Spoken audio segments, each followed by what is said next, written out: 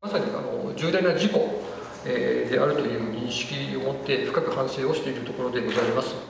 会社を代表して私の方から、えー、謝罪をさせていただきたいと思います。申し訳ございませんでした。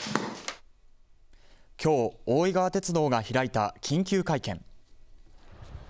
昨日午後2時45分ごろ